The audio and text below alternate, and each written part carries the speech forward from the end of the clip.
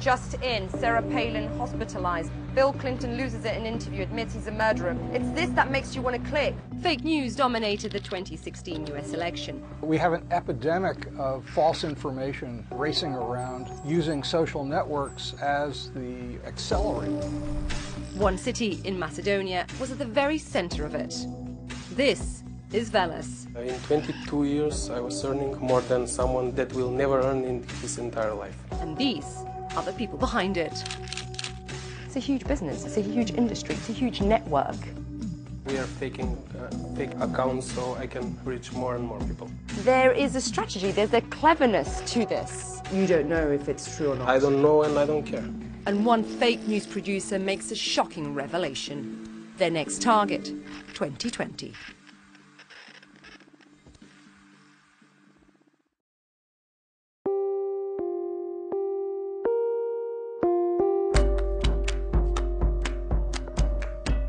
Tucked away in the hills of the former Yugoslav Republic of Macedonia is the small city of Veles. A place many thousands of miles away from Washington, but whose voices echo right across America. So-called fake news can have real-world Fighting the fake news. It's fake, phony. false propaganda. For months, I've been wanting to come here. Ever since I heard over a hundred fake news sites were traced right here to this city.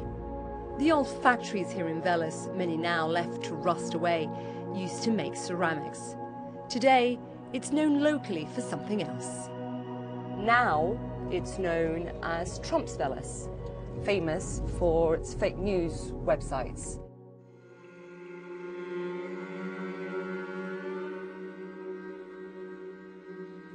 I keep hearing the fake news industry is worth millions of dollars, but walking around, it's clear to see this is not a city paved with gold. In fact, it's a place that feels like it's trapped in a time warp, while it simultaneously charges ahead into the digital new world. So it makes me wonder, who are the people behind this supposedly multi-million dollar industry? What are the chances of us getting someone to interview? Can you help us? Never ga će We find several people in the city connected to the fake news industry, but they're reluctant to talk openly about it. Will any of the people you know be interested in talking to us? Be able to talk to us? They are worried about being exposed and their websites shut down. This after Facebook and Google began cracking down on fake news. But it seems the local mayor isn't shy to tell us just how widespread the industry is. Ebe сега стоиме во оваа зграда, едни, како да кажеме, луѓе што држа еден добар објект, они го работеа тоа.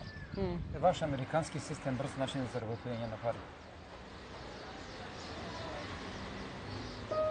I've about seven tabs or so that are open. Just in, Sarah Palin hospitalized. You can spot the stories that are really untrue, completely fake. Bill Clinton loses it in an interview, admits he's a murderer. The stories on this particular website are fake, but other websites are actually going further. They are mixing fact and fiction. That is a lie, and that's mixed in with news and the main political page. And someone in the US could potentially be influenced by that. They make you want to click and they make you want to share. At the moment, we're looking to track down some of the websites currently up and running. We want to know what exactly they're writing about. Is it still President Trump? This is the, one of the websites that we know comes from Macedonia. It has a link to their own Facebook. The IP address and the IP location says it's Texas. If you look further down, it gives you the address, Veles. I'm going to see if this person picks up. Да, Hello, can you tell me a bit more about your website? it's a news uh, news website for now. Would you call it a fake news website? No, Where do you get your ideas from? Where do you get the stories from? uh, from other newspapers. And who who are your readers? Is it American readers? Who are the majority Yes, of people? Mostly, Yeah. mostly American. Yes. Do the people that read your website, do they know that your website is fake? And what is the websites? Well, they're not real news. You're making stories up.